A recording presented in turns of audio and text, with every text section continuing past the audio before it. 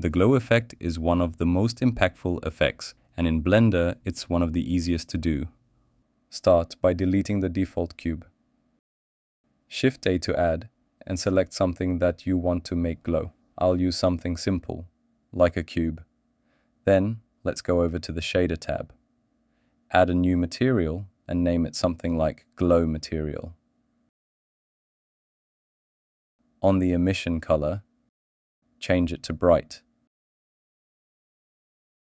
and increase the emission strength. And voila!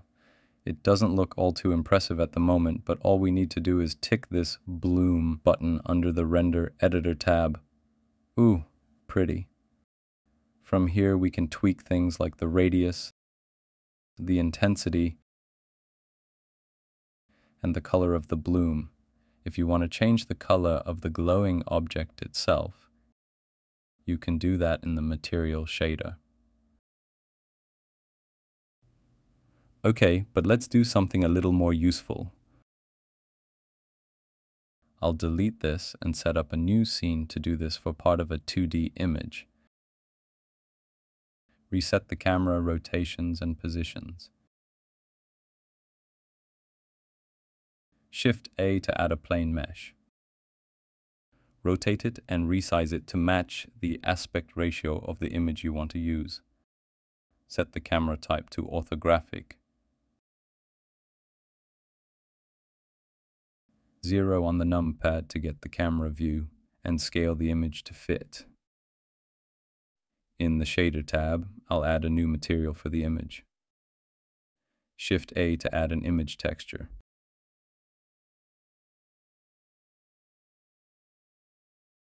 Select the image you want to use and connect the texture image node to the base color.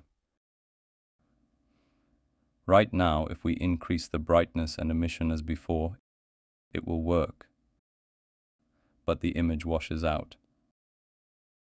To solve this, connect the image texture node as the emission color as well. Now all the colors in the image glow. But why stop there? We need to isolate the glowing ball. Shift D will duplicate the layer. Press Y to lock movement to the Y axis and move it forward a bit. Press Tab to get into edit mode and K to use the cutting tool. Then cut out the area you want to isolate. This will be everything you want to control the glow on. In this case, I will include some of the hand as well. Press enter once you're done. Make sure you have the face select selected then click and delete the faces you want to exclude.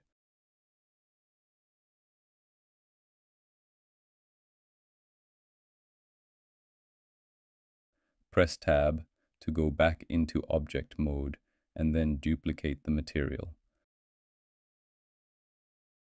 Let's name it something like moon.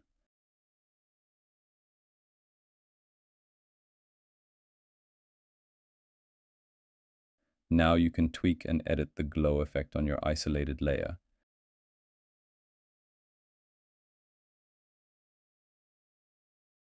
You can also keyframe the emission strength to get this pulse effect in an animation.